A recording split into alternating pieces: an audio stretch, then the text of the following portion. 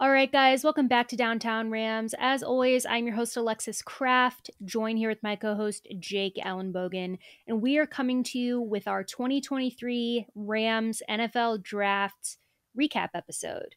Uh, a lot of you guys joined us for our three day live stream where I looked much like I do now, disheveled uh, and running on very little sleep, as with was Jake. That's kind of our thing every year is we don't sleep the entire NFL draft and we give coverage the whole time.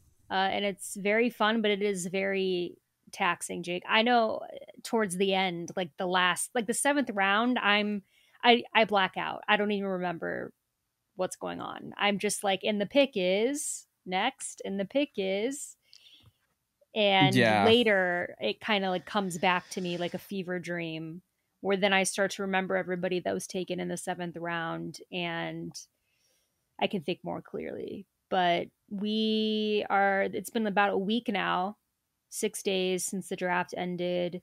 Um i we would have dropped this sooner but quite honestly guys i had like the craziest week ever and i was very slammed and i wanted to make sure i had the time to watch these guys again and kind of see what the what people said about them and you know make opinions and see what people are saying before we did this episode. So we're, we're recording this now on friday night and this will probably come out tomorrow. Um, but Jake, are you ready to dive into the Rams picks? Yeah.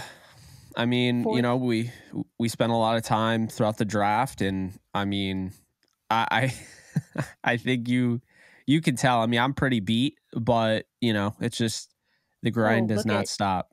People are watching this on YouTube. I like, I look like I just like somehow ran a marathon when I haven't done any physical activity today. It's just my overall appearance and demeanor is I am just like cooked. Like I am spent. I we're both very tired. Um yes. but we have we have the energy to at least talk about the Rams draft picks even though there were many. This is the most picks that uh, the Rams have made Jake since you and I have been covering the draft together. And I don't know this off the top of my head, but I should have looked this up. Is this the most picks the Rams have ever made in a draft class? Because it I, feels like it. Yeah, I believe so. I mean, yeah, fourteen.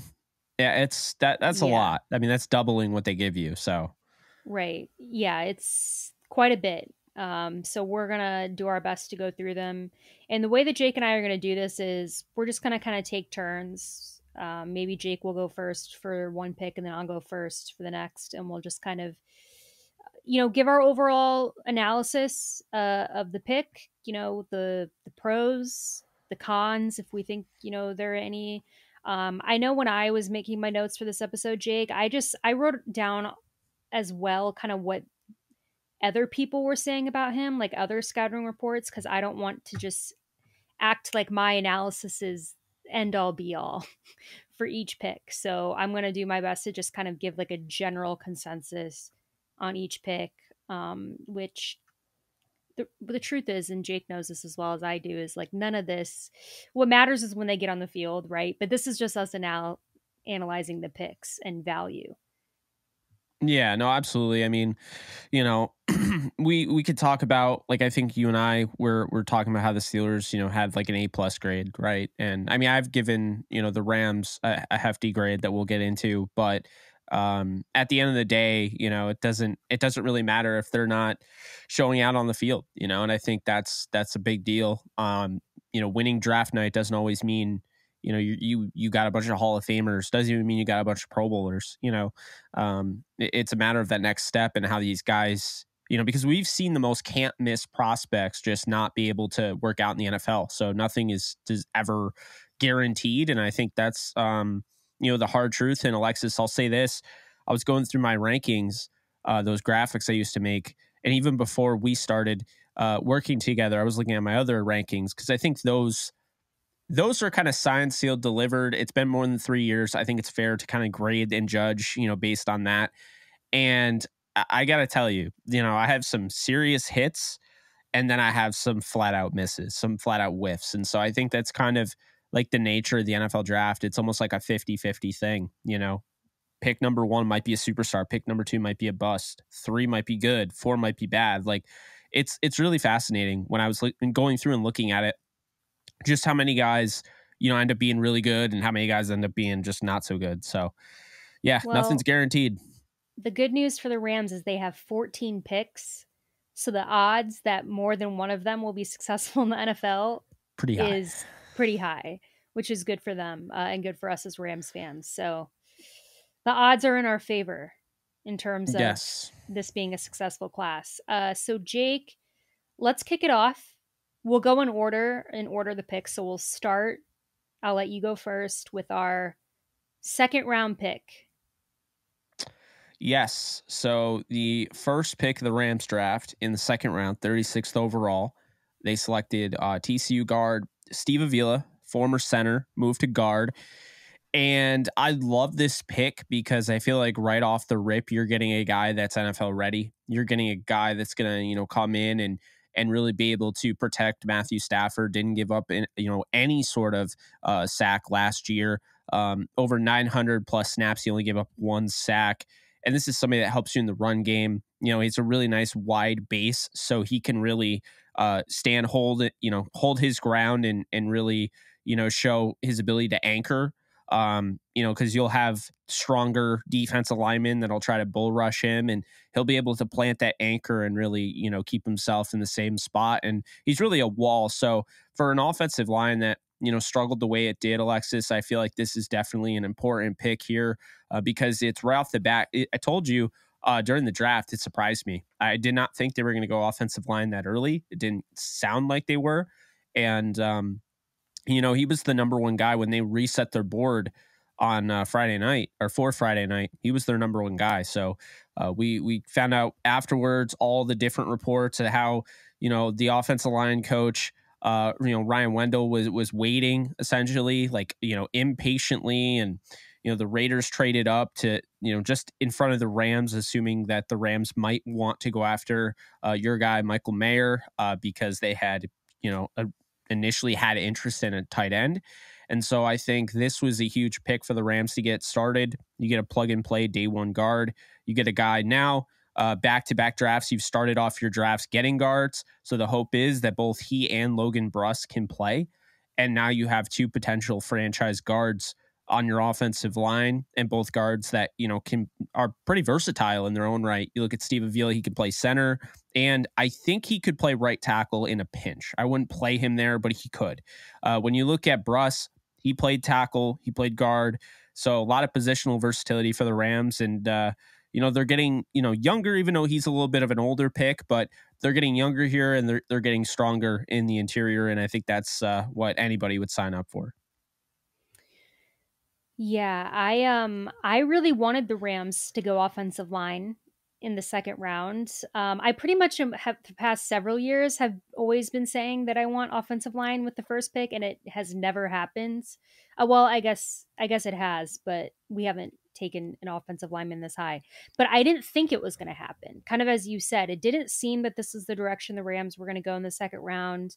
So I kind of put that aside. I did think they were going to go defense, but I absolutely Loved this pick. Um, probably my favorite pick in the drafts. Um, I think for most Rams fans, this has probably been our favorite pick just because we saw what happened last year with the offensive line, um, which was very bad. And even in the seasons leading up to last year, like it wasn't great. I don't think the Rams have had a super um, outstanding offensive line for a while personally. So I think that we're now heading in that direction, hopefully. So it was really exciting to see this pick.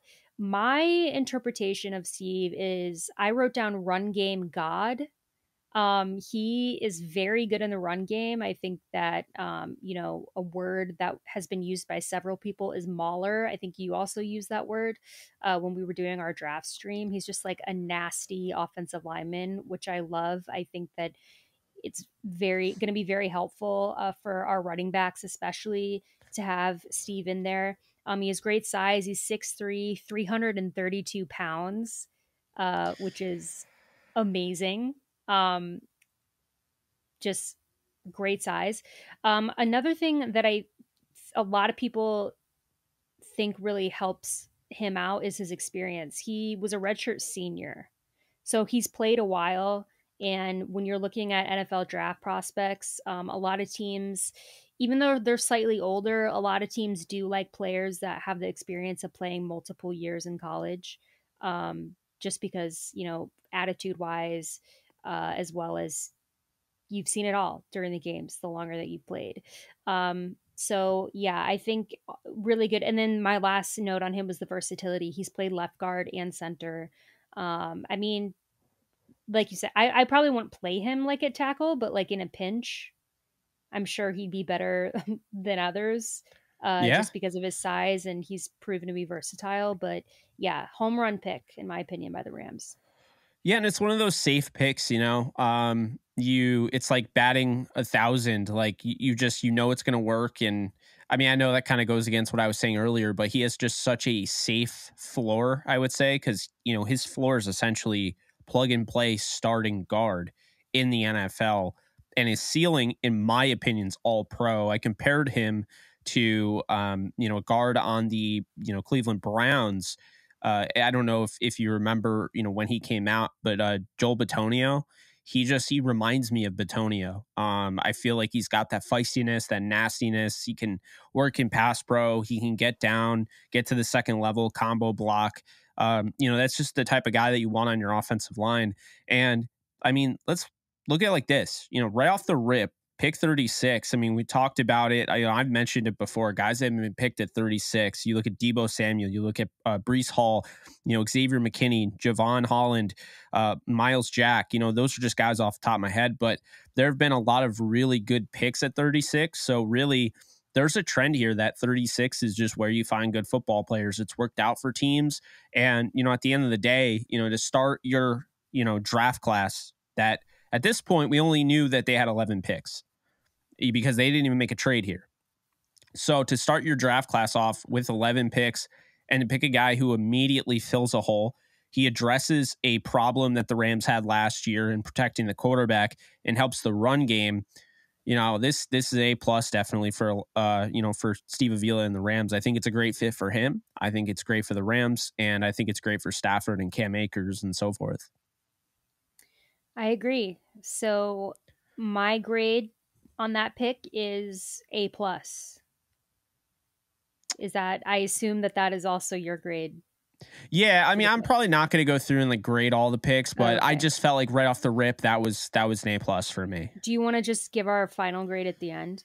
Yeah, yeah, that's probably okay. better just because I don't want to hear it when like, oh, well, you graded him this on you know another. Well, yeah, I don't want to hear. We're it. gonna we're gonna hear it. Yeah, I mean, yeah, too yeah. late for me. Um, all right. Yeah, your so, your fate is sealed. all right, so next pick, round three, uh, was Byron Young from Tennessee. I have yes. to clear that up because there were two Byron Youngs in the drafts. Uh, and there, of course, as we could have expected, there was a mishap when the Raiders drafted Byron Young out of Alabama. They were reporting it as it was Byron Young out of Tennessee. So we thought he was already off the board. Then it got corrected, and then everybody was confused at what was going on. And then we realized Byron Young from Alabama went to the Raiders. Byron Young from Tennessee went to the Rams. So very confusing. Byron Young from Tennessee is who we're talking about. Um, so the best part I think about him obviously is his story.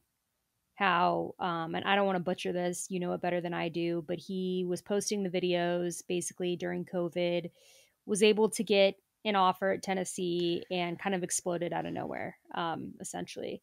Yeah, Dollar General too. Yeah, working at Dollar General. So Byron Young um, the first thing that I think that really stands out about him is just he's an athletic specimen. Just the way that he's built. I mean, 6'3, 250 pounds, 4.4340, just 90, oh, 97th percentile uh, in the vertical, by the way. Um, That's ridiculous. just absolutely ridiculous. Um, he had 16 sacks in two years playing in the SEC. So he only played for two years in the SEC and he had 16 sacks. Um, he's very, very quick off the edge, high motor, great leverage. The biggest knock against him that I've found when I'm reading these scouting reports is a lot of scouts were concerned that he only played two years, uh, which I didn't understand because he had very good stats in the two years that he played, um, and that he's 25 years old, which I can kind of understand, but um, whatever. Um, I think the biggest thing with Byron is potential because he, you know, is lacking in experience. Um, I think that this is really a potential pick. Um, I think he was drafted kind of maybe a little higher than some thought he would. I thought that he would be drafted in the third round, but I think for the potential that you can get out of Byron Young, um, it's totally worth the pick because, like I said, you have all those amazing athletic qualities. Yes, maybe a little inexperienced, you know, fine, but I don't. I think that he's proven that that doesn't really matter when you look at his skill set. Yeah, I think when you look at Byron Young, this is just somebody that exemplifies going through adversity head on and you know going from dollar general assistant manager to then going to this JUCO school having you know this these highlights come out about you because there were they were filming the practices because COVID canceled the games, but they were still practicing. And, you know, he gets all these offers from the SEC. But one thing that stands out to me there, he's offered first by Tennessee. So that's why he decided to go there. He wanted to go with the first school that offered him. That's one thing I love. Second thing, now obviously the story. The the second thing here, he just took number zero. Now, I know it's just a number, but I feel like again, it exemplifies who he is as a person. There's never been a number zero in the history of Rams football.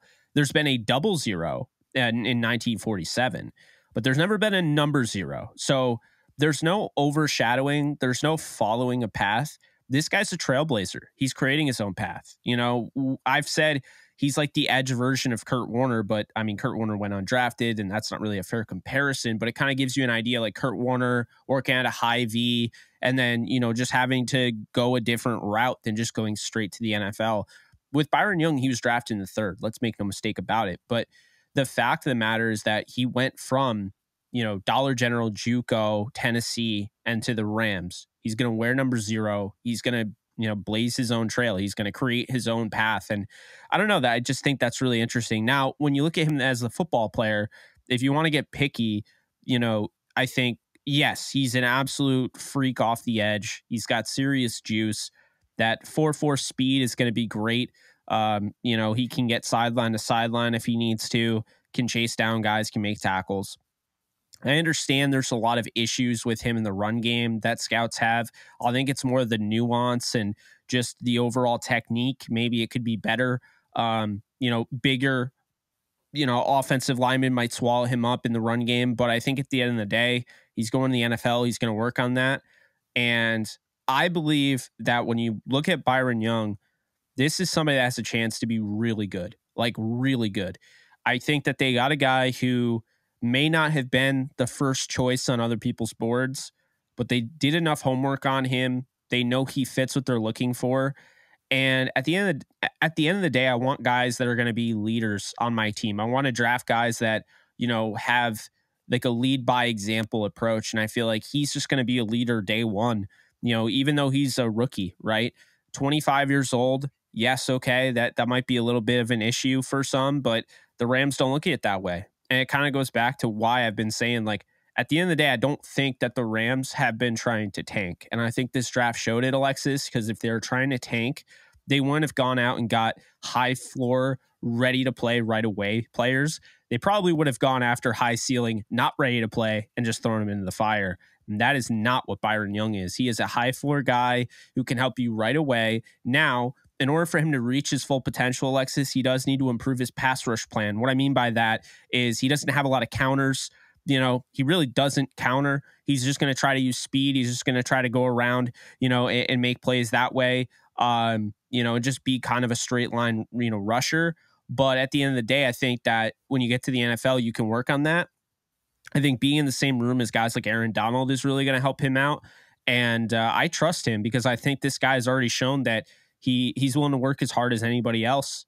And if he develops that you know pass rush toolbox and the, the overall plan and really uh, you know picks his his spots, I think he can be a really dominant edge defender and edge rusher uh, in the NFL.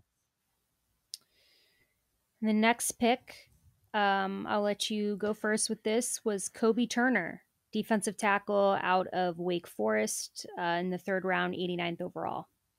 Yeah, so with with Kobie Turner, it's interesting because they they absolutely love him. Um, you, you, talk about his just overall football IQ, how smart he is, how he makes plays. He he plays through the whistle, uh, maybe even a little bit after the whistle.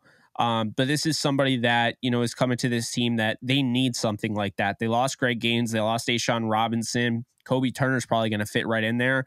Alexis, the first three picks might be three day one starters, and that's not unheard of.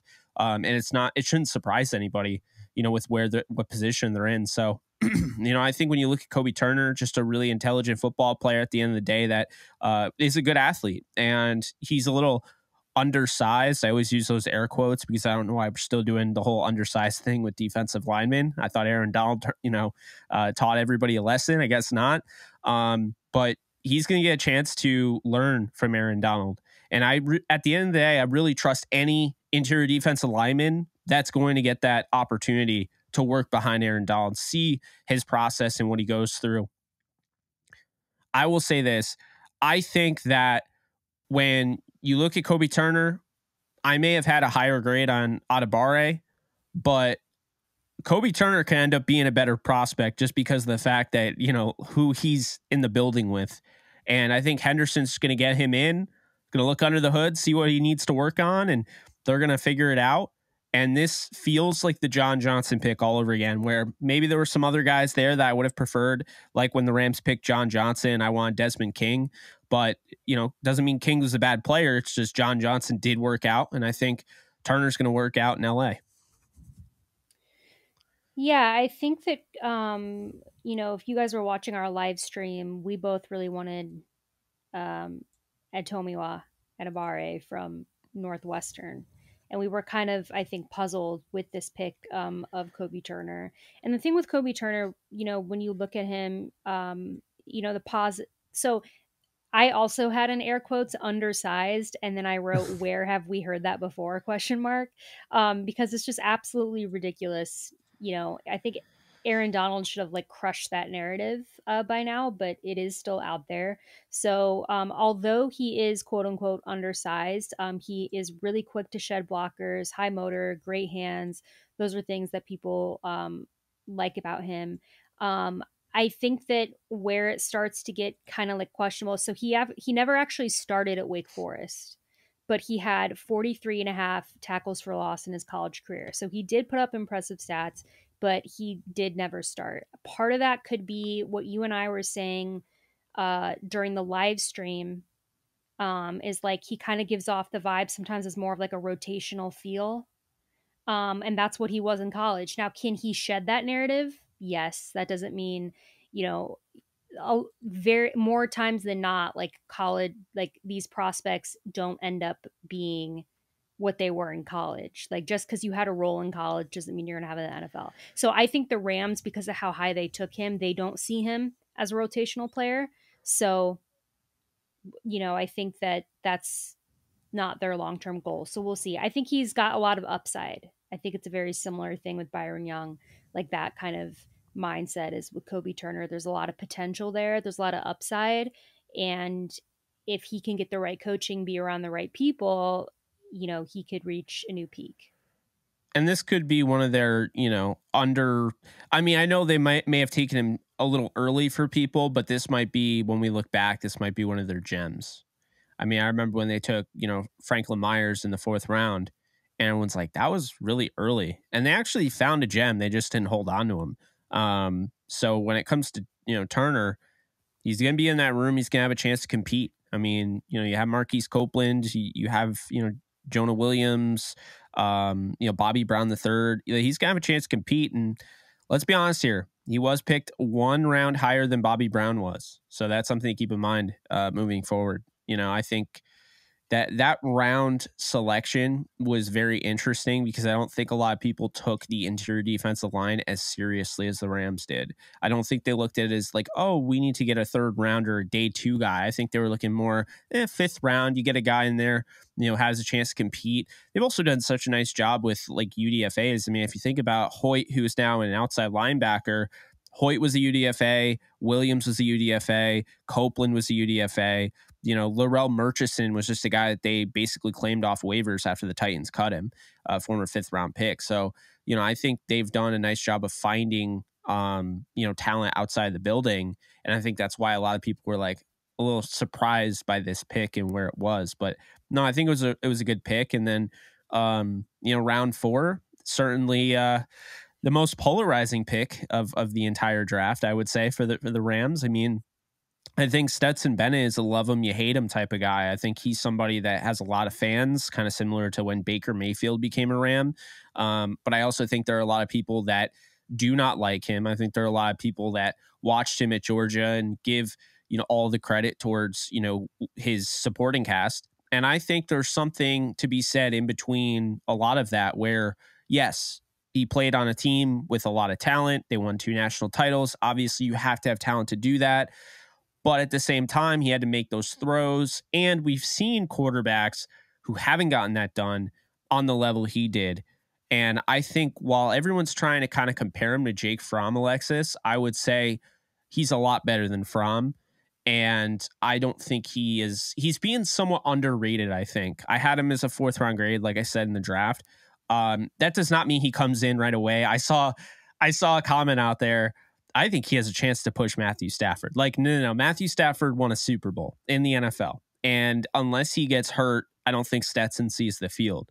But the Rams did just go out and add Brett Rypien, and I think he'll win that battle. I think that's fair to say.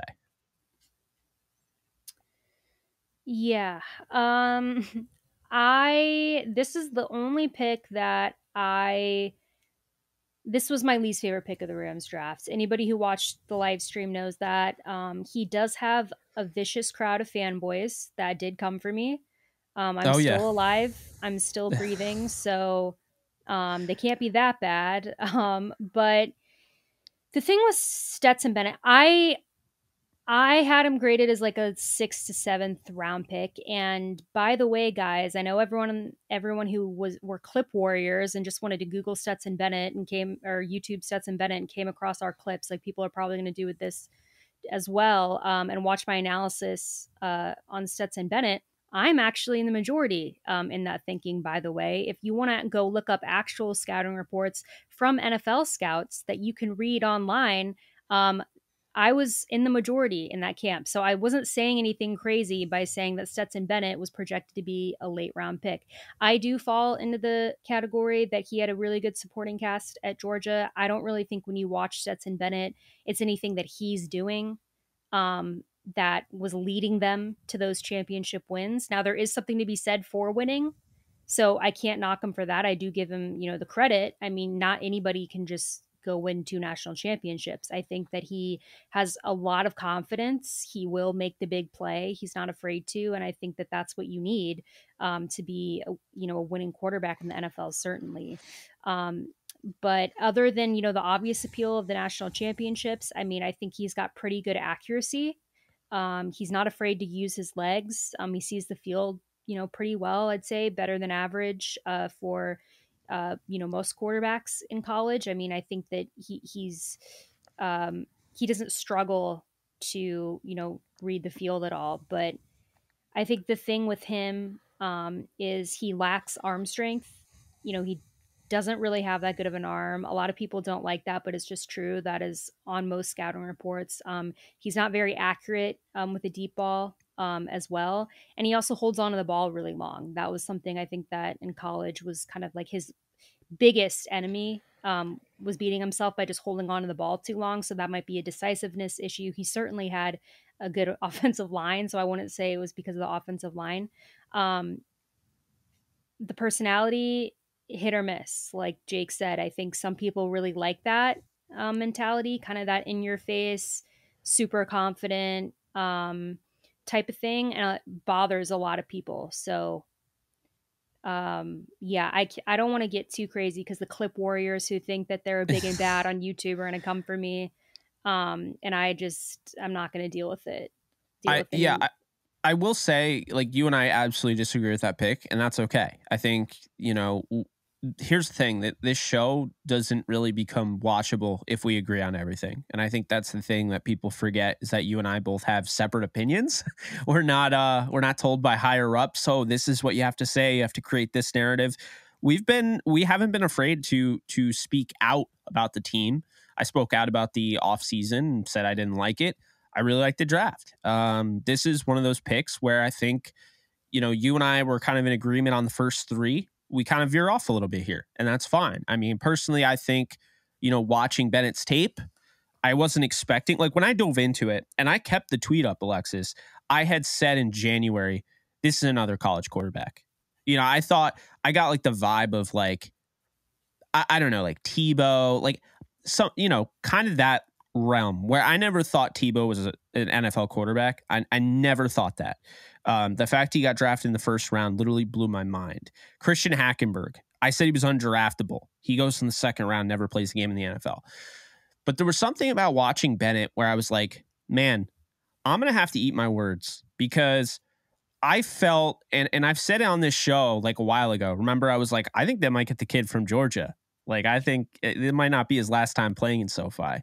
Um, but I, I think when you you look at Bennett, what impresses me the most are throws that there are quarterbacks in the NFL that can't even make them. Like I noticed the far hash throw to the far sideline. Like there are guys in the NFL that still can't hit that. Like I watched Zach Wilson last year try to do that and throw pick sixes. You know, um, I feel like Stetson has enough to work with where you get him with a Zac Robinson, you get him with a Sean McVay, uh, you get him with Matthew Stafford, and they're going to create a plan for him, Mike LaFleur. Um, and I think if he has to start for an injured, God forbid, Matthew Stafford this year, because assuming he plays all 17 games seems a little delusional, in my opinion, I think Stetson can start.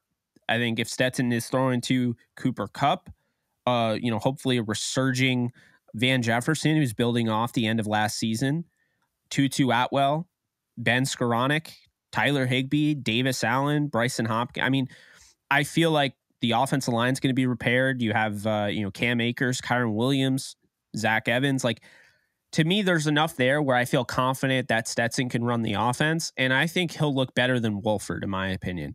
Um, and, and I think that, you know, his mobility is real a lot of the times, you know, in college, it's like, okay, well, he can run, but there's not a lot of fast guys in college, so he looks a lot faster than he is. No, I mean, he ran below a four seven, so I mean that's faster than Carson Wentz. Um, you know, and I remember Carson Wentz looked pretty fast coming out, but you know, I just think at the end of the day, uh, Alexis, you know, when you look at this pick, it's really going to separate a lot of people. But I think it's important to realize that like everyone's entitled to their opinion, and this isn't a pick that just automatically will just work for people because I mean, how many times have we covered the draft? How many times have you and I liked this player and the Rams and went in this direction? How many times have you and I watched quarterbacks? We watched plenty of quarterbacks. Jaren Hall was right there, you know.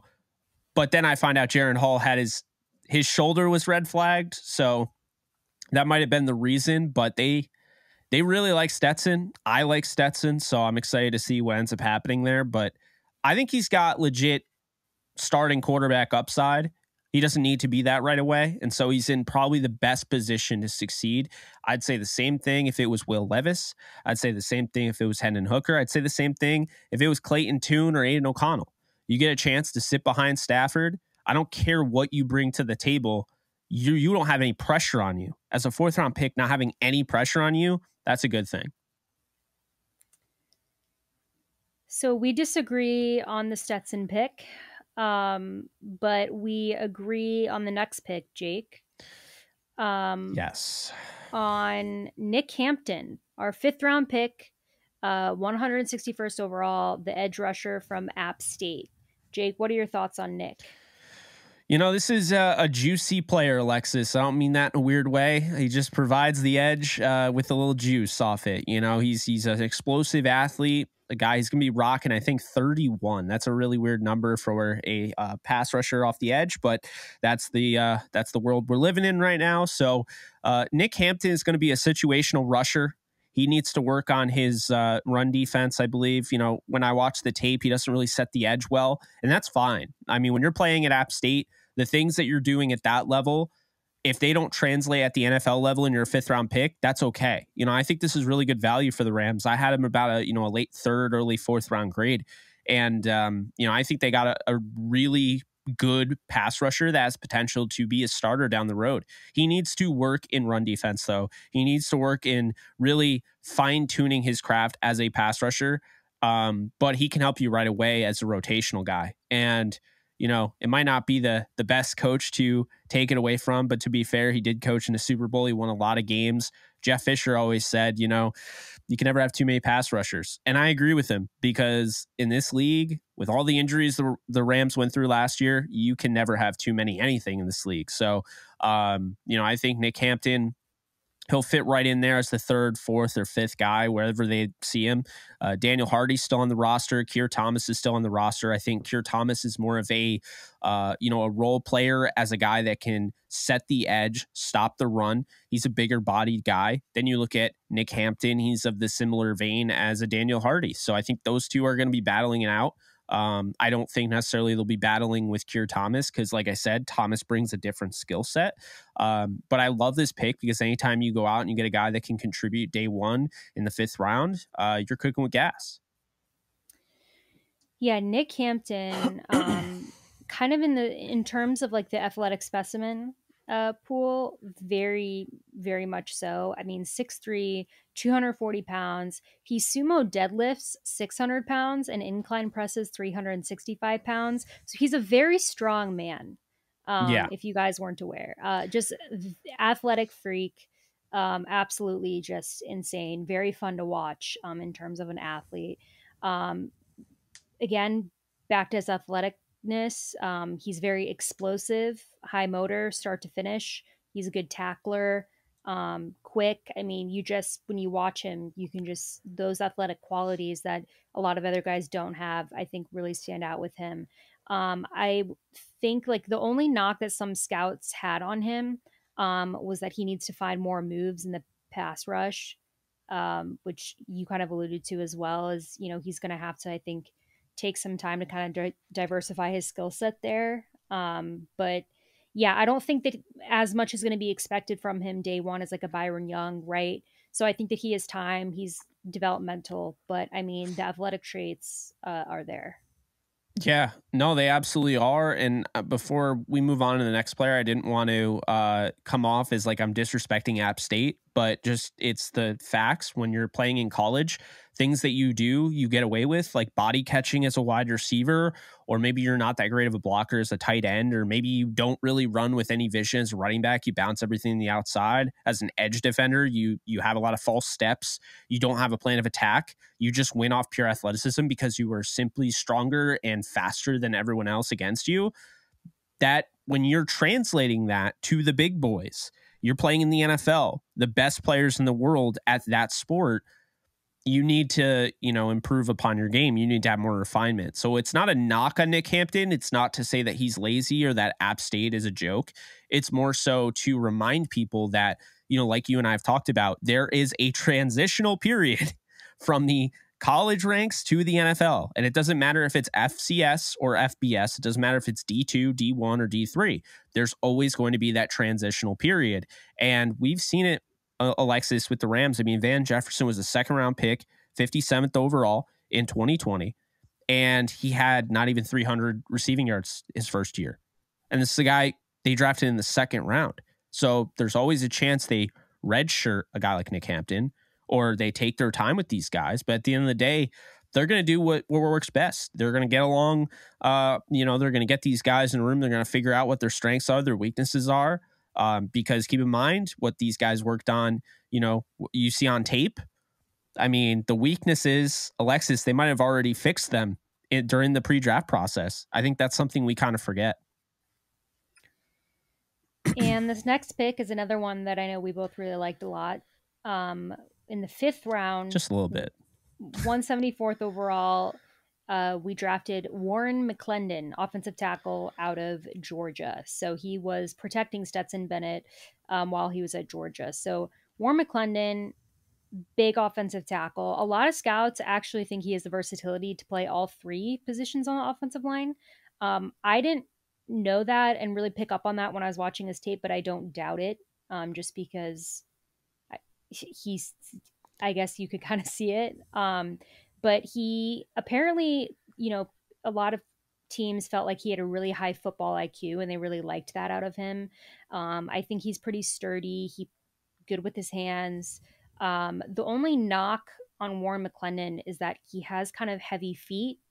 Um, and you know he's not super fast, so if he can lose leverage against like faster edge rushers, um, that can be kind of difficult for him. Um, he's not able to really keep up with them. So I don't know that he's starter quality right away. Obviously, if he has to step in, I think he'll be fine. I think he's a lot to work on, and a lot of that just has to do simply um, with the athleticism a little bit. Um, whatever he needs to do to kind of be better against the pass rush. Uh, but the talent is there. Obviously, played on a national winning team. Um, looked pretty good. You know, if you watch his tape, very solid.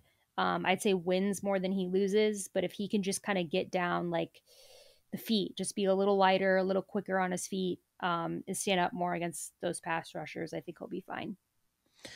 Yeah, you know, Warren McClendon is somebody that I had highlighted early on in the process as somebody that, I mean, I, he was my seventh overall offensive tackle in the draft. I thought he was a guy that played at Georgia, but was being treated like he was the small school prospect that no one wanted to talk about.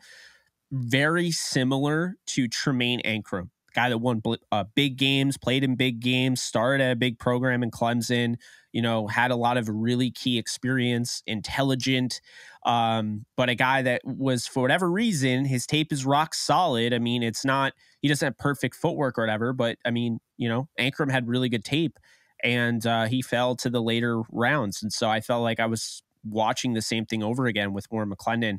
I called Warren McClendon, Tremayne Anchrum, um, like a higher end Tremayne Anchrum, where he could play guard, he could play tackle.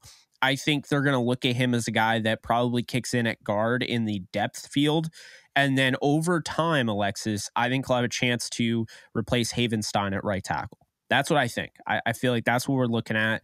I think this guy has, uh, you know, a lot of talent, and you know he's physical. I mean, you watch him at the Senior Bowl in those one on ones, and he just neutralizes guys with that first punch. And so I think really the issue, like you you had mentioned, he does have those heavy feet, and I think his footwork is wonky. And um, you know, once he gets that down, like because he hasn't had NFL coaching yet. Once he gets that down, he has enough tools where this guy's a future starter in the NFL. So it's another really great pick from the Rams, I thought, and uh, just a very very high football IQ. You have to have it uh, if you're going to play at Georgia. So I really love this pick. It just really showed me that you know, okay, we're not afraid to continue to address the offensive line. We're not afraid to pick a guy maybe a round earlier than some teams would have picked him. Uh, we're just going to go out and get a guy that's, you know, won big games, played in big games, gone against big competition, and has some familiarity uh, with the uh, quarterback that we're drafting to be our backup. That doesn't hurt either. And Jake, the next pick was literally the next pick. Um, yeah. Davis Allen was 174th overall. The next pick was, or sorry, not Davis Allen. I just ruined that. Warren McClendon was the 174th overall pick. Then Davis Allen was the 175th pick. Uh, so back to back picks here, quite literally. Uh, Jake, what are your thoughts on Davis Allen? Yes. So I was actually able to break this one just like the Stetson Bennett one live. That was fun. Um, I love Davis Allen. Okay, seventh overall tight end, a guy that didn't run well uh, at 40 time, whatever. He plays way faster than a 484. Um, he had a 91% com- uh, contested catch rate. So pretty much you throw him up the ball in double coverage or single coverage, he's going to come down with it.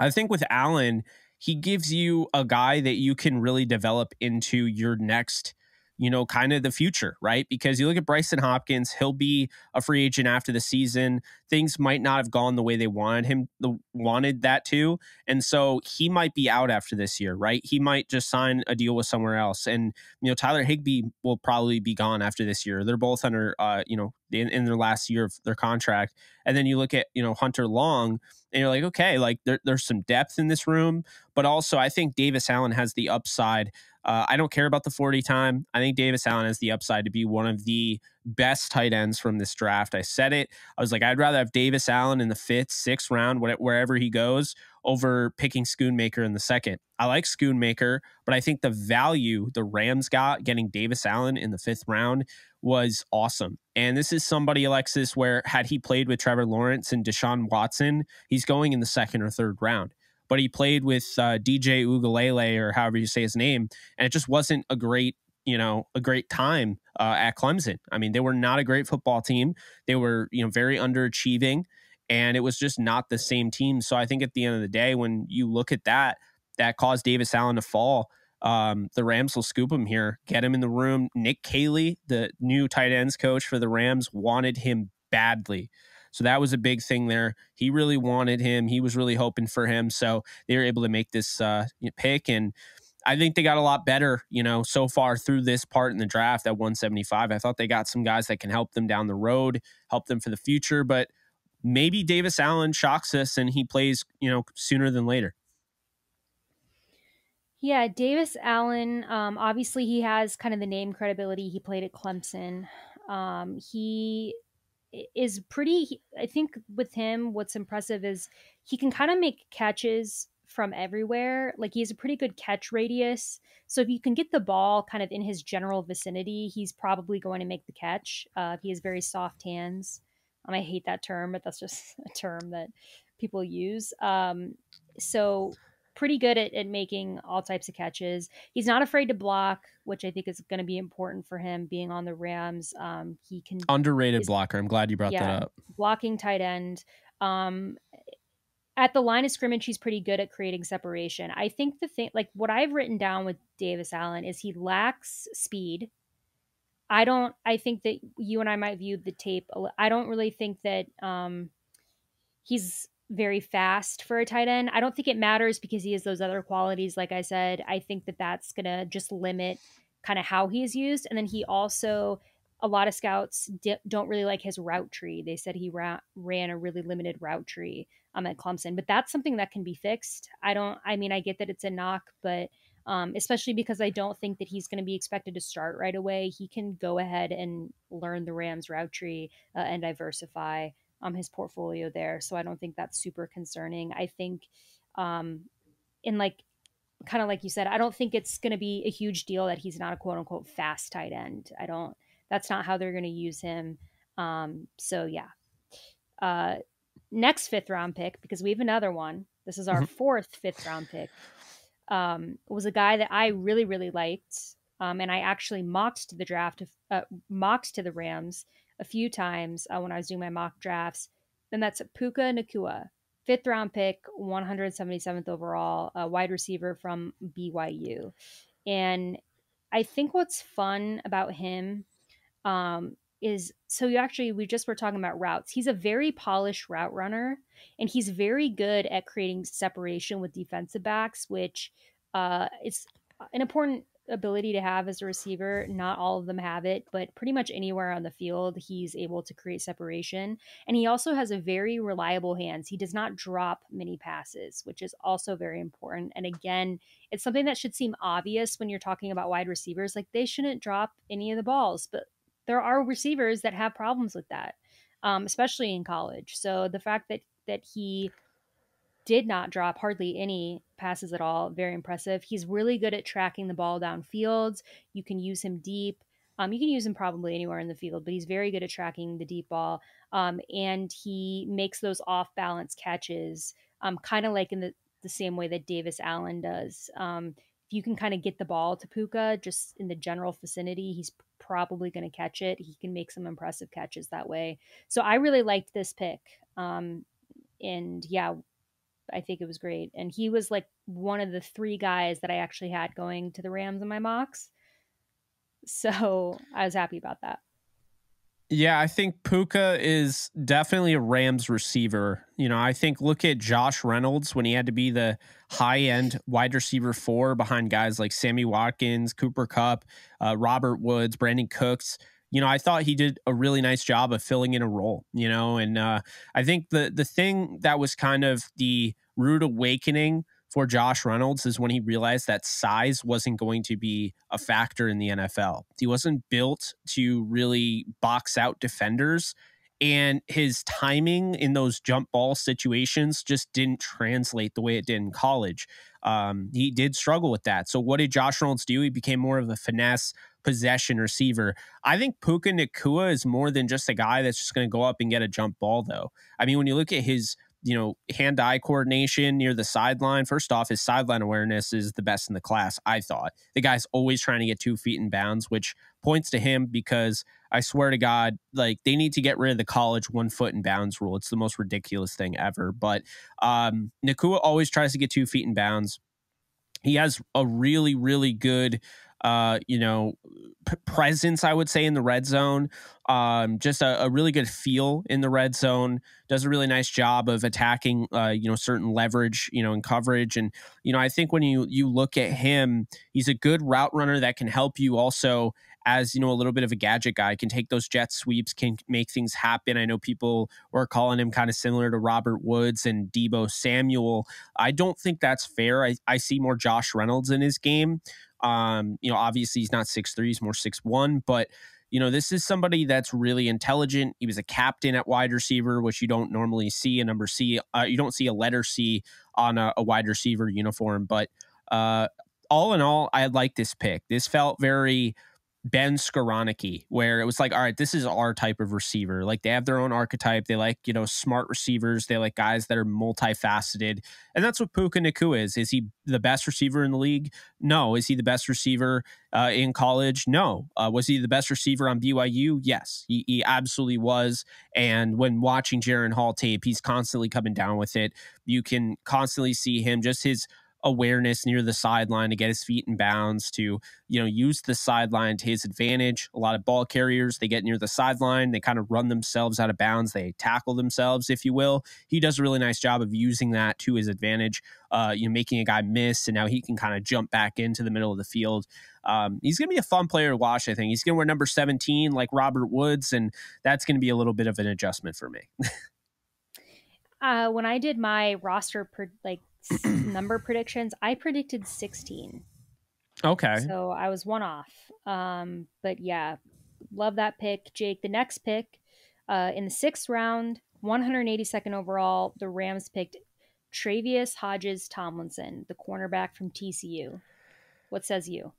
Uh, major steal. Probably one of the biggest steals of any team in the NFL draft. Um, Travis, Tre'Vius Hodges Tomlinson, I, I don't really know what more you could ask for. I mean, you know, I believe Les Snead picked Lamarcus Joyner, if I'm not mistaken. He had to go up and trade for him in the second round. Here's the thing Joyner was five eight, you know, probably about 180. Um, Tre'Vius Hodges Tomlinson's five eight, five nine, whatever you want to say. I, I think he's more five eight, even five seven and a half. But the point is, like, this is 2023. I mean, there have been guys that have been drafted five eight DBs that have been traded up for in the second round. I don't know what this guy has to do to go higher. I mean, he won the Jim Thorpe Award. That goes to the best cornerback in college football.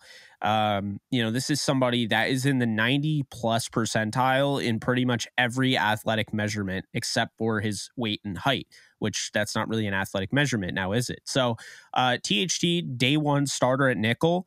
I think they have to move to Cobie Durant to the outside. And then I think you have a Derion Kendrick versus um, Robert Rochell battle on the other side. You know, I think that's what happened here. I think the Rams got a lot better in the sixth round. Not something you normally say, but when you're able to get a guy like THT who has that, you know, LaDainian Tomlinson bloodline, um, that that's really impressive to get him at 182. Now, he made a mistake. He should have worn 21. Zach Evans will wear 21. It would have been cool to see LT uh, having that number back on uh, back in the NFL and and having his uh, nephew wearing it on the Rams.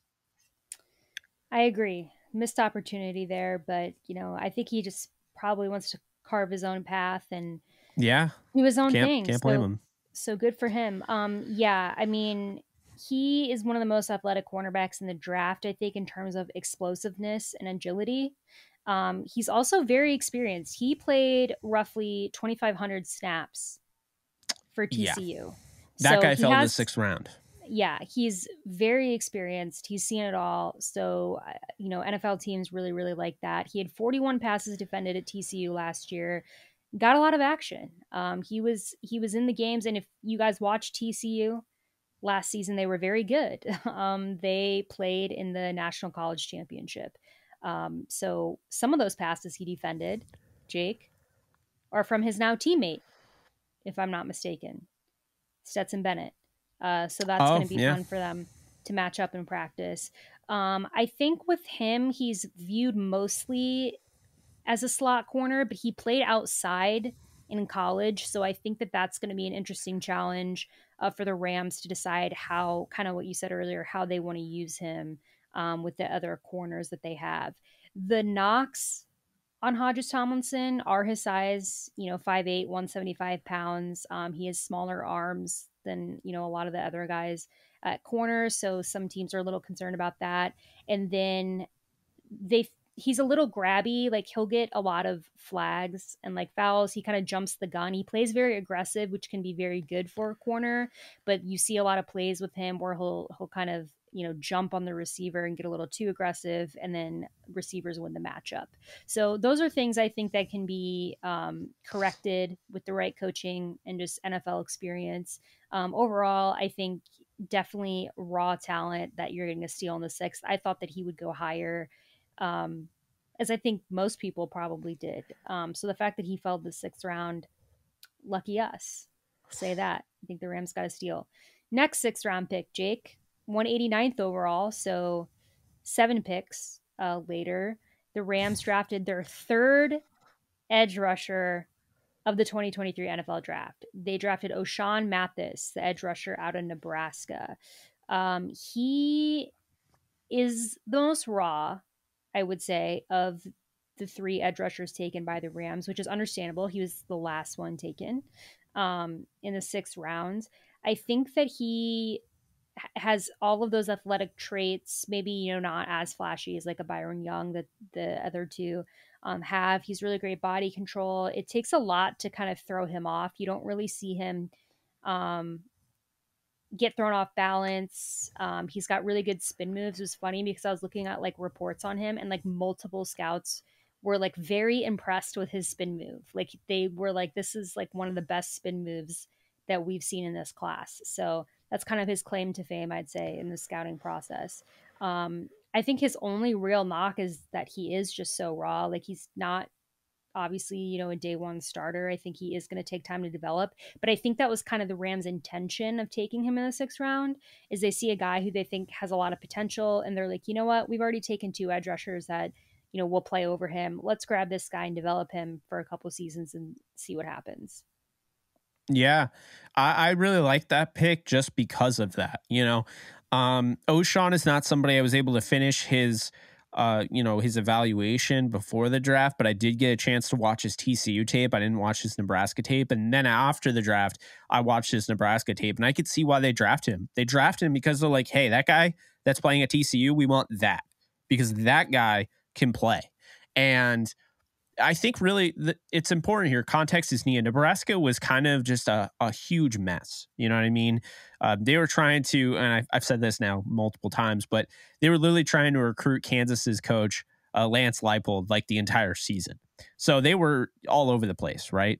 And I just feel at the end of the day, Ochaun Mathis probably should have stayed at TCU. He probably shouldn't have transferred, but you know, he thought this was a good opportunity for him. And unfortunately, it just didn't work out the way he probably intended. He's a, you know, 6'5, 250 pounder, vines for arms, NFL.com uh, said. I, I noticed that. But, you know, I think really what it comes down to is this is who you get in round six. You're not supposed to find Tre'Vius Hodges Tomlinson in round six. You're not supposed to find NFL ready guys. You're supposed to find guys like this.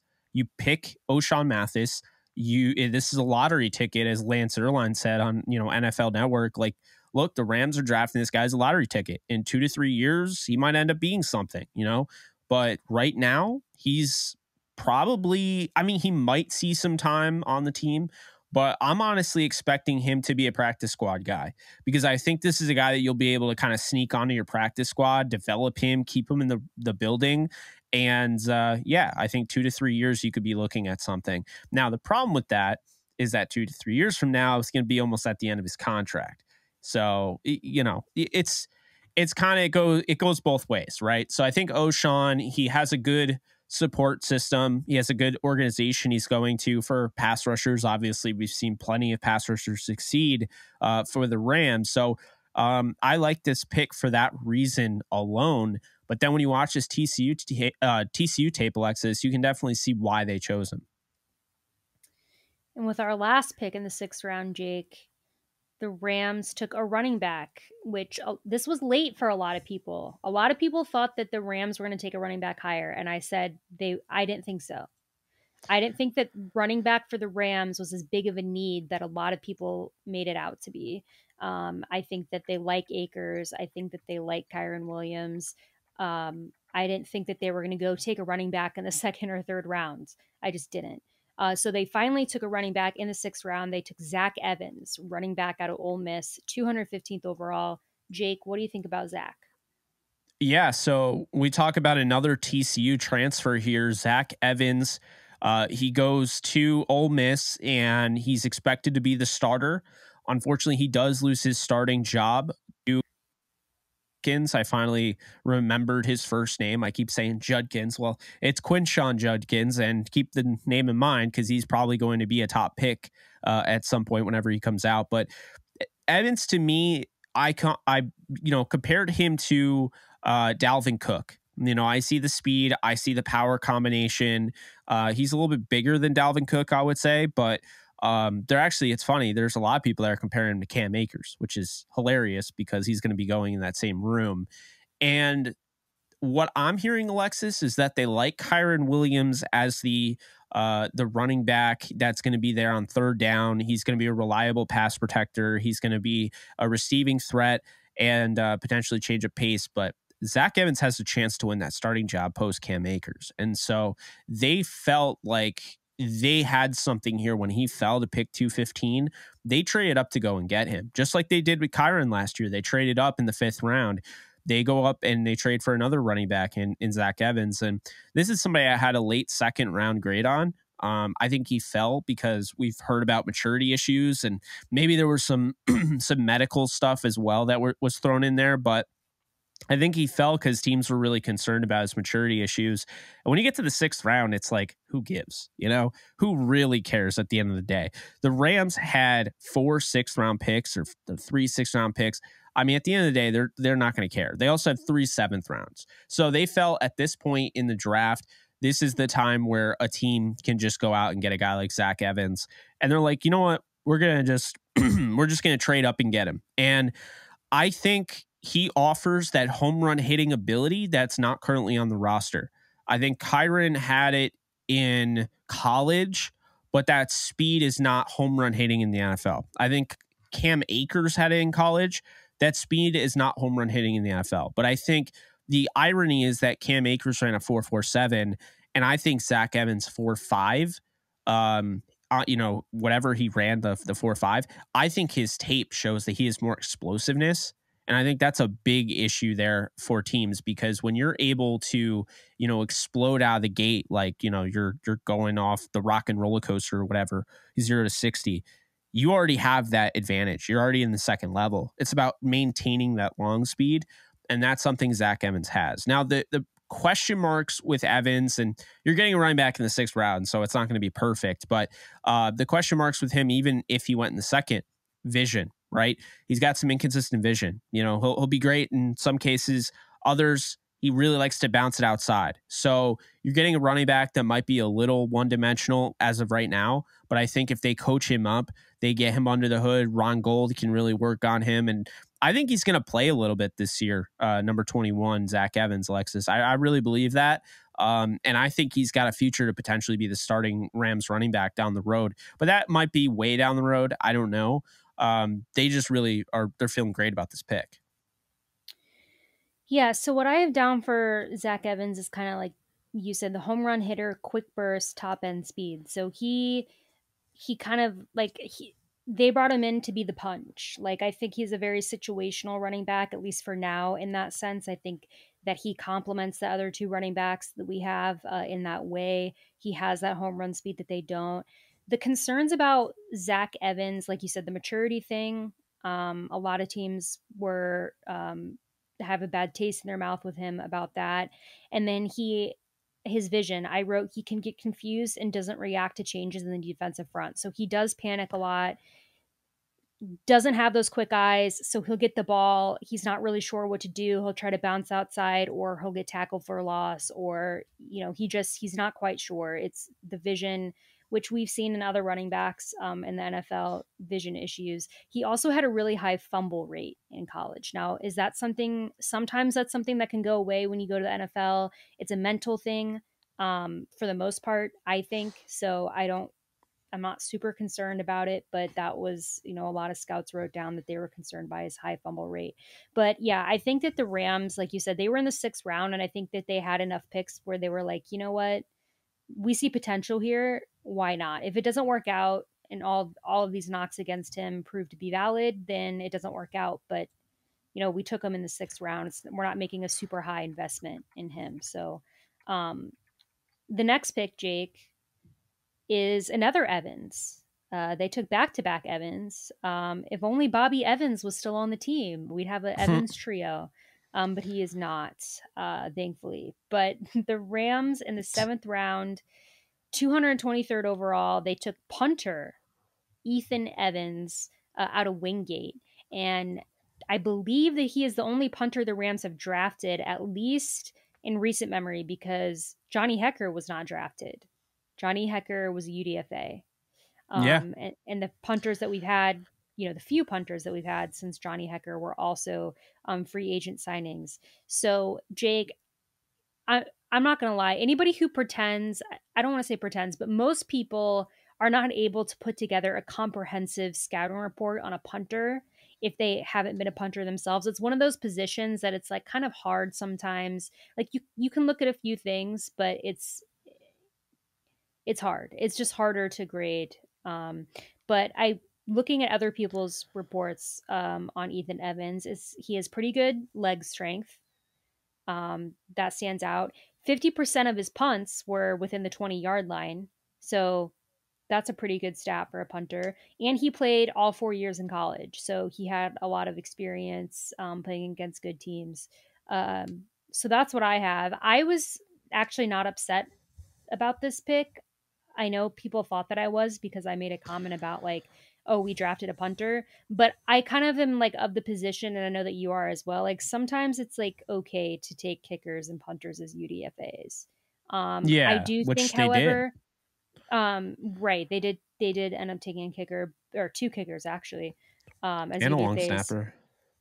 But I think again, like what we were saying with Zach Evans, I think the Rams were in a position where they had so many draft picks it's like if there's a punter that you really like, like why not take him so nobody else can yeah. take him? So I think that that's what they did with Ethan Evans. Jake, what are your thoughts? Well, my thoughts are that special teams coordinator uh, Chase Blackburn did a really nice job in finding him. Um, you know, just watching Sean McVay talk about him, they're like, "Oh yeah, you took a punter," and, and he and Les are like, "We didn't take him. it was uh, Chase Blackburn. Like he's the one who apparently flew out to uh, you know, Carolina, wherever. I, I, don't know if it was North or South Carolina for Wingate, but um, you know, he was with the Carolina Panthers. So I wonder if those connections he used to to find this guy, you know, and I, I think what it comes down to is that, you know, Ethan Evans has a 70 yard leg. Uh, he's somebody that can help you on the kickoff because, you know, the big reason why, you know, um, Dunn, Christopher Dunn wasn't drafted, and I think we touched on this on that question uh, on the live stream. Christopher Dunn doesn't have the leg to uh, consistently hit touchbacks at the next level. And if you can't do that as a kicker, you're not getting drafted. So the Rams get him undrafted. They go reverse, you know, Johnny Hekker, uh, Greg Zuerlein. They instead draft the punter and get the UDFA kicker. And I think this is going to work out for them. Uh, like I said, Ethan Evans is a guy that they really liked and they're able to you know get one of those extra picks and they use it on him and you know he's going to help you on the uh the kickoff he's going to be wearing number 42 which a lot of people have issues with that i'll just say this right now expect more 40s for specialists because now that you have these single digit numbers going to linebackers and wide receivers and so forth, there's just like those guys aren't going to get their their way. You know what I mean? So, uh, 42 is not a shock to me. Um, he is related to Heath Evans, who played in the NFL with the Patriots. I did find that out. So uh, I thought that was kind of cool. Uh, some more NFL bloodlines there. But I like the pick, Alexis. I just think, and I totally understand people are watching our live stream for seven hours, and most of the people that are watching it just want to see our reactions to the, the Ram stuff. So I totally understand. Uh, some people wanted to see more out of us with he- Ethan Evans, but I don't think you and I thought they were going to draft a punter. And I actually think, at least for me, I don't want to speak for you, but I thought they might go with another vet.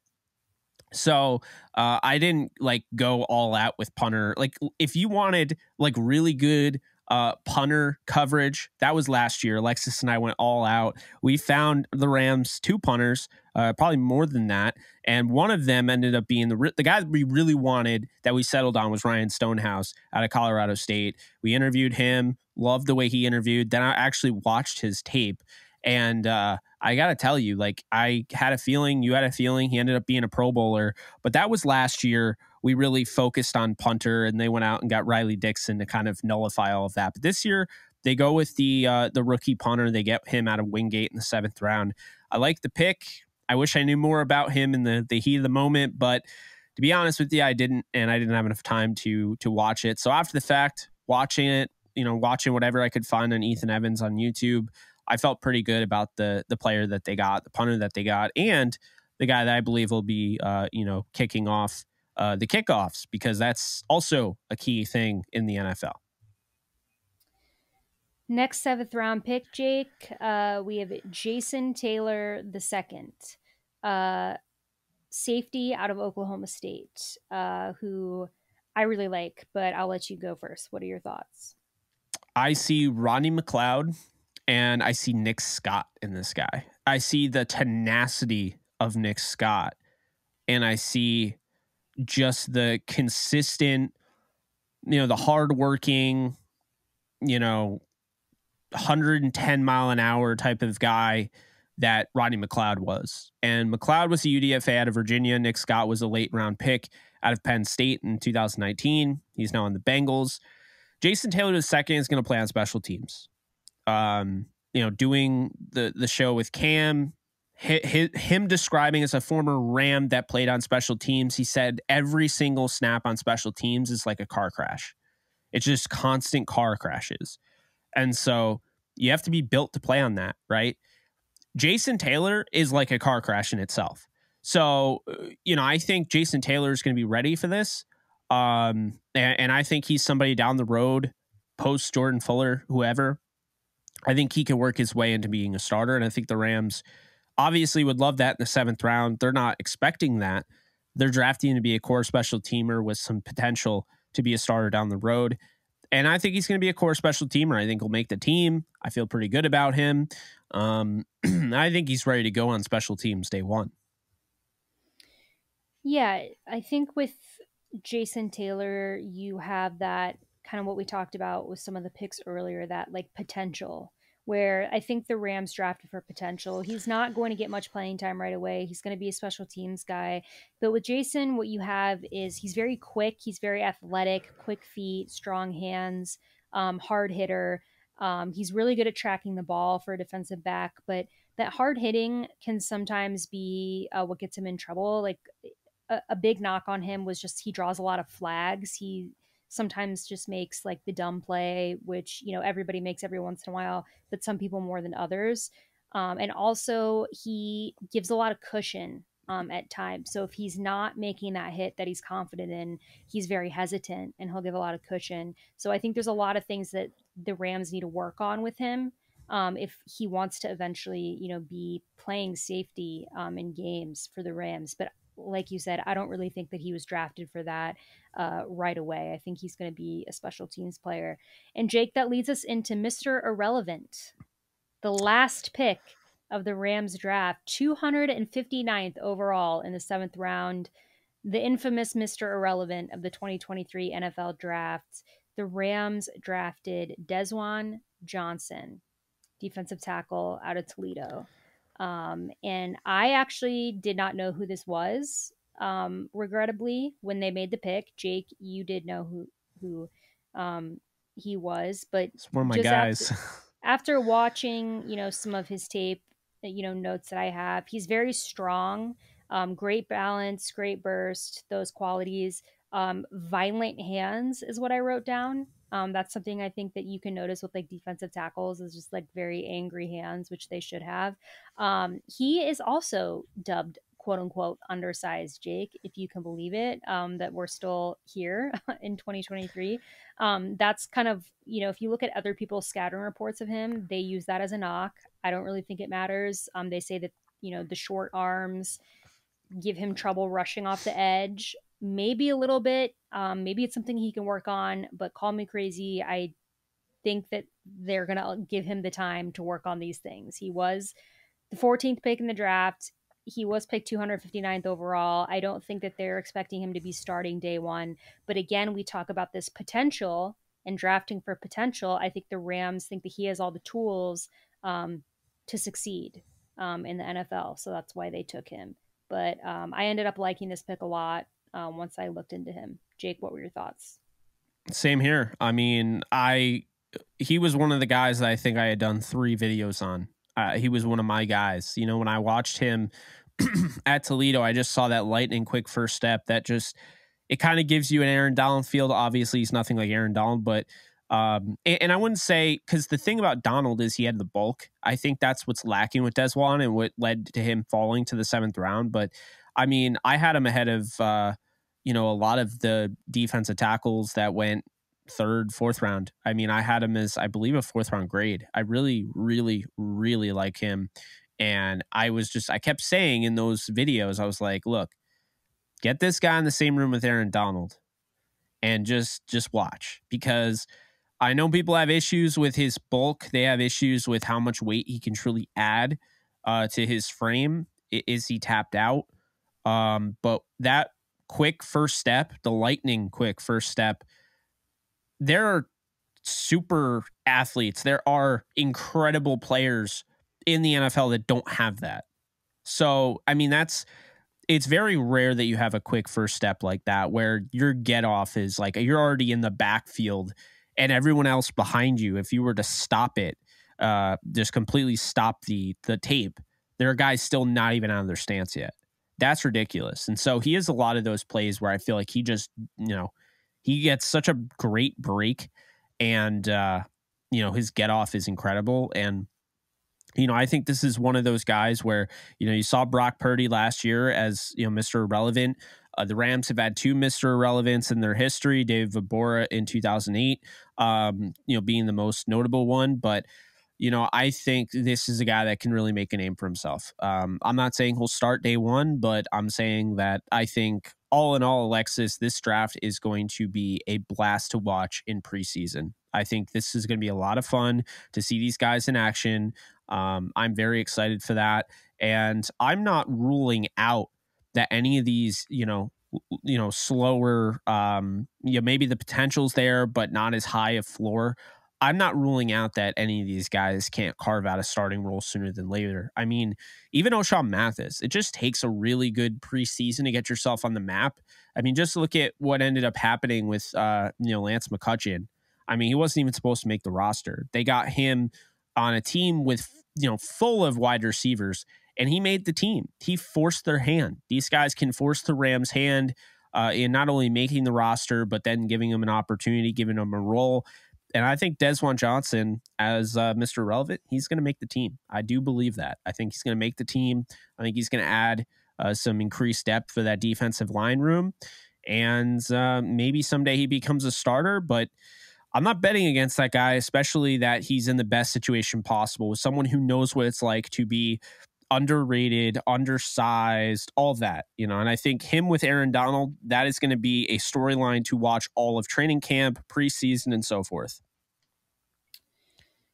And this leads to the moment that everyone was waiting for, or they weren't, but we're going to do or, this anyway. Or they skipped um, it because it's been they, over an hour. yeah. So we we are going to do this really quickly because I think that you and I kind of gave our analysis pretty much in depth mm-hmm. just saying what we thought of the picks and everything, but overall grades. Um, and I'm going to pull up a Twitter poll, by the way, um, because are you now?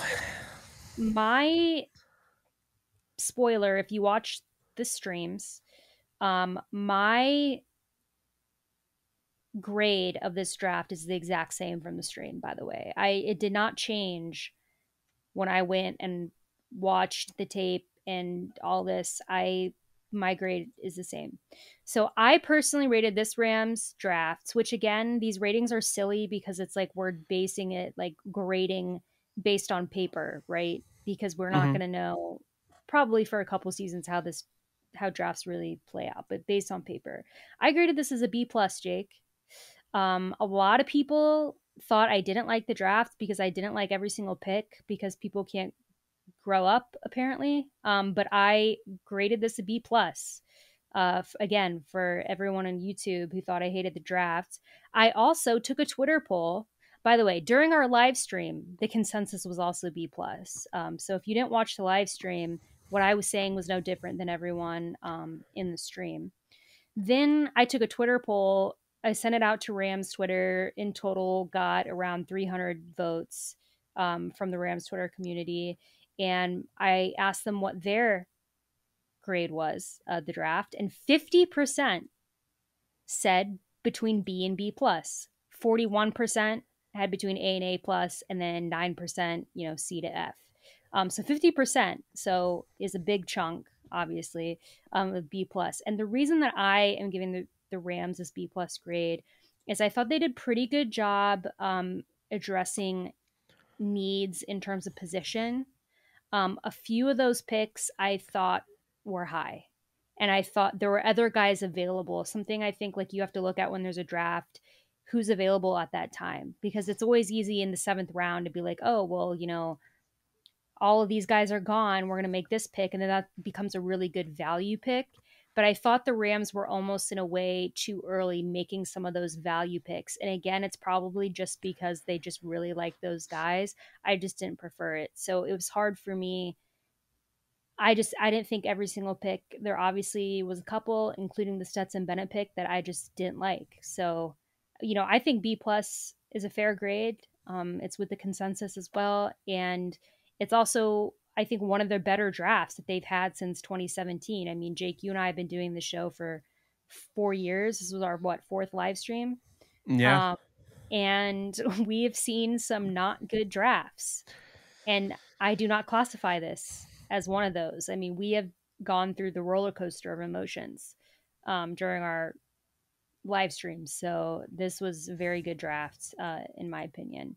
Um, but Jake, what is your overall grade and quick recap of this 2023 Rams NFL draft? Yeah, so I mean, keep in mind going into this, the offseason was a complete failure.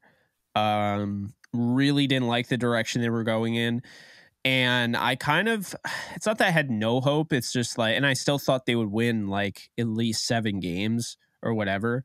Um, it's just like I felt like they were like wasting years of Matthew Stafford, Cooper Kupp, and Aaron Donald's career. And so going into this draft, that's how I felt. Now, coming out of this draft, I see the vision. Um, you know, one source in the Rams organization uh, that didn't obviously make the picks, but, you know, knew about them, was part of them, I guess, said it was very calculated. You know, they took a calculated approach. They had a plan. They went in. They had certain archetypes they wanted to fill. They had certain things and criteria that they they needed. Um, the Rams essentially went into this draft and they created a filter, right? So they have a filter, just like you know you're you're going through whatever, like you know on iTunes or whatever. You're trying to filter out your favorite albums. And you go by five star ratings and then you go by every album that was in 2022 whatever. They had the filter. Their filter was guys that were hardworking there were a filter of guys that were leaders guys that had captains uh, that that were captains uh, had that experience um, guys that had been through adversity guys that were going to make this team better uh, you know today and tomorrow. And so i think that's what the rams did. They accomplished their goals in doing so. They brought in the next generation of Rams football. Um, I know that sounds kind of crazy to admit, but there's a chance Stetson Bennett could be the quarterback of the future. Uh, but there's no chance at all that Steve Avila won't be starting day one uh, because that is who he is. You know, there's no chance at all that Byron Young isn't going to be starting day one. Kobie Turner, there's a pretty darn good chance he's going to be starting day one. Nick Hampton, probably going to be in that rotation. Warren McClendon in the rotation. Davis Allen, rotation. Puka Nacua, rotation. Tre'Vius Hodges Tomlinson, you're talking about day one starter at nickel. Zach Evans, rotation. Ethan Evans, starter. Jason Taylor, rotation special teams, Desjuan Johnson, rotation, and Ochaun Mathis, potentially rotation, but could also be just a guy that they they hold on to on the practice squad. So you have 14 picks. You didn't really uh, you know, th- there were some guys that you missed on, I thought, like Adebawore to me would have been just unbelievable. But I get it. There were certain guys they wanted. There are certain guys they liked that didn't fit their criteria, but they almost considered them. And keep in mind, we started the draft, Alexis, and they wanted to trade up to get Dalton Kincaid. They liked Myles Murphy. They were unable to trade in the first round. You and I looked at that as a good thing because that means that they didn't give up three picks. If they gave up three picks, this draft class changes vastly, and I probably give it a different grade. They also wanted Marte Mapu, as I reported during the draft, at 69. Uh, they decided to trade down. They miss out on Mapu that that's a shame. The Patriots took him, but now they get Byron Young, Kobie Turner, and they they figure it out. And with you know that trade down, they're able to get Stetson Bennett, who was number one on their board uh, after uh, day two. So, you know, all in all, this is an A plus for me. Um, I don't normally give the Rams this high of a grade. I don't think I've ever given the Rams this high of a grade because you and I have been kind of iffy on some of the picks that they've made over the years. But this was one of those drafts where it was like everybody that I was fine selecting or wanted, they selected. Um, I talked, you know, extensively throughout the draft process about Byron Young and how he would fit the team and how, you know, just what he's been through. Steve Avila is just a plug in play. You know, he has a chance to be an all pro, but he's a plug and play. You know, Kobie Turner was maybe not the defensive tackle that I was expecting, but they love him. They did their research and my guy, uh, you know, who I really admire and I got a chance to talk to at the Senior Bowl, uh, Michael Pierce, one of the Rams scouts on the, the, in the South. He's the one that you know was behind that, uh, according to reports. So I was really happy for him. If he liked that guy, trust me, I, I believe it. I believe he also was really high on Jacoby Durant. So I'll uh, I'll give him his props. Stetson Bennett to me, that was somebody that I wasn't really expecting um, them to take in that moment. But it actually makes a lot of sense because now they have a day one backup and they have a guy that could potentially start down the road. I love the, you know, the Nick Hampton pick, you know, going out and getting, you know, just high upside and a guy that maybe could fit right in that rotation. I just, at the end of the day, Warren McClendon, Davis Allen, Tre'Vius Hodges Tomlinson, Zach Evans, Desjuan Johnson. Like they got my guys. And I just felt that was really cool because we've done four drafts together. When have I said they've gotten that many of my guys, so to speak? So that's why it was a really great draft. In, in my opinion, I just felt like they got a bunch of guys that I had, you know, kind of circled, guys that could fit this team, guys that could have an impact on this team. And they found value in places where, like, if you told anybody before the draft, Tre'Vius Hodges Tomlinson's going to go to the Rams in the sixth round, you would have been like, Are you kidding me? There's no way he's going to fall the sixth round. Or if you told anybody they're going to get Zach Evans in the sixth round, you know, it's just one of those drafts where I think they really got a ton of value. And maybe if they, you know, reached in a certain spot, they made up for it in the back end. So A plus for me, that doesn't mean anything, obviously, because they absolutely have to to show it on the field. And uh, you know, we've seen that in the past, but I'm feeling really good about this draft. And at the end of the day, I think that the Rams got better. And I think the Rams are definitely showing you that look, we're not tanking. We're trying to compete this year. We're getting guys that love football. We're getting guys that can be leaders, that guys that can stay healthy, uh, guys that can play right away. Not everybody, but decent amount. And uh, we're going to go after this thing. And then maybe 2024, 2025, we're talking the bigger picture. But, you know, we're, we're going to try our best to, to win a Super Bowl this year. And it, it's probably not going to happen, but we're not holding ourselves out of that conversation. And I think that's the thing when you have guys like Sean McVay that are part of your organization. I mean, McVay isn't going to roll over, you know. So I don't know. I thought this draft was was excellent. Uh, it absolutely accomplished the mission that they were out to uh, to accomplish. So you don't think they're tanking for Caleb Williams? Oh God, no, no, no, absolutely not. Uh, did you like my video, by the way, on that? I did. Yeah, I I don't think that the Rams are taking for Caleb Williams. Um, I'm glad that more people are jumping off that ship because for a while on the interwebs it started to seem like that was the minority opinion, and I was getting nervous that a lot of people bought into that narrative. But I think this draft pretty much proved that they're not. Um, they want to make yeah a lot of these picks if they were. Um, I think it's silly. I don't think they're going to waste Stafford, Kupp, and Donald's last seasons by tanking. Um, and I also don't really like you and I have had this conversation. I don't like it when teams tank regardless. Um, I I just think it's unprofessional. Ruins It the is. integrity of sports. So the Rams are not doing that, guys. Um, no they're not but in case you were wondering our thoughts on that, um, the even though think organization is laughing behind closed doors though that people think that I, I got i'm just saying like from people i've talked to like they're not they're not taking. Like the idea that sean mcvay didn't go because that's the thing alexis if they were tanking sean mcvay would have taken a year off. You know sean mcvay would have gone and worked in tv and then come back because there's no way he would want to go through that 5 and 12 season with all those injuries and then come back and be like yeah i'm not going to try to win there's no chance. The only chance of them tanking, that's not from like the Rams. That's just me saying that. Like if the Rams, let's just, you know, let's just give that some air for a second, okay? The idea that they're tanking, the only way that that could have even been possible is if Sean was out. If he if he left one, you know, for a year and then came back. But no, they're they're absolutely not tanking and furthermore, it just kind of goes to back to what I was saying in the video while I was wearing a USC hoodie and saying that I think he's the real deal and I really like him.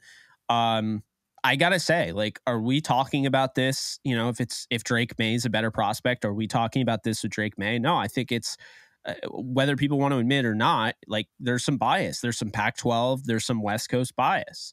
If if there was a quarterback that was better than Caleb Williams in this draft, uh, and he was out of Penn State, if he was out of Miami of Ohio, you know, are, are we getting that that same? No, I, I think it's just it's very easy to oh well, Caleb Williams was at a Rams game, you know, the the Rams game where they they blew out the Broncos. Oh, Caleb Williams is playing in you know the former Rams home right at the Coliseum. Caleb Williams is playing in their backyard. Like it's easy to make those connections, but have we not learned how college football works? We've seen guys who were top prospects Remember Jake Locker, anybody?